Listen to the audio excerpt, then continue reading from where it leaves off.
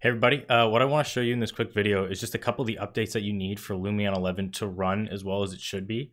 Um, so something that you should do right off the bat is uh, go into the search bar here or into your control panel uh, and just type in about, find this. You just want to get it so that you're in the about page here.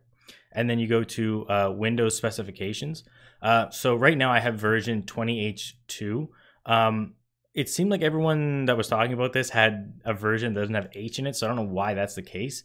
But um, before I did this, I had version 1980, I think, uh, and Lumion runs best in the 2000s. So what you need to do is just uh, look at this. If it's not up to date, uh, you're gonna need to update it. So what you should do is just come back down to the search bar, type in check for updates. And so as you can see, um, I'm now I'm, I'm, you know I'm up to date. Uh, there were some notifications when I first opened this. I thought mine was set to like auto download, but I guess it wasn't. Um, so this is something that you need to do, and it's will um, this will just help speed Lumion up because Lumion does take advantage of some of the new features. Uh, I think in DirectX 12, I could be wrong about that because I couldn't confirm it, but I believe they did upgrade to DirectX 12. So I might make a video about that, just kind of talking about what the possibilities with that are because there are some things that comes with DirectX 12 that I think people would be fairly happy with that, or at least DirectX 12 is the foundation for those things.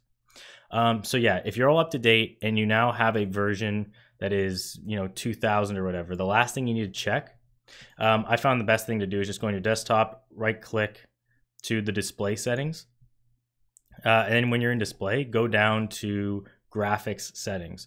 So then when you open this up, you're going to see hardware accelerated GPU scheduling. So this is something that Lumion just started being able to take advantage of. And as I said, that's I think this is one of the DirectX 12 changes.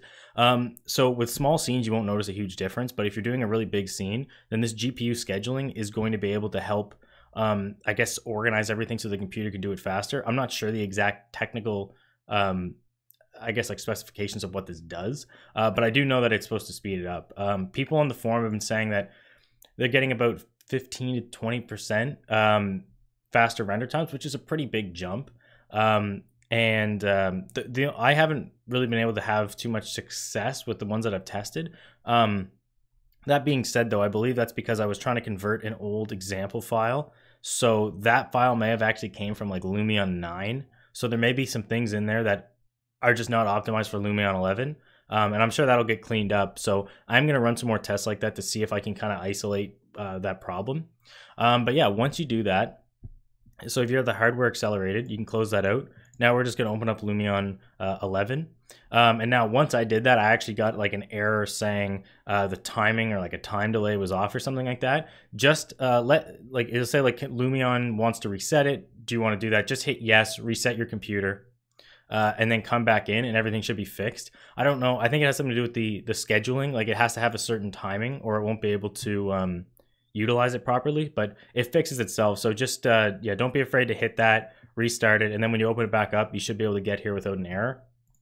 And that's really it. Um, there's some small changes, but I think that some people might have been getting frustrated with uh, why it seems like Lumion 11 doesn't have any, I guess, like performance increase. Um, but it is because you do need to have like your software up to date, and you also need to have a couple things checked on. So um, hopefully that helps some people out. Um, I just wanted to make a quick video about it because I I was just kind of going on the forums and sort of doing it by what people were saying. Um, so I yeah, I just want to make a video so that people could just clearly see it. Uh, I do plan on releasing one or two more videos today, so hopefully you guys will stick around for that, and I'll see you there. Have a great day.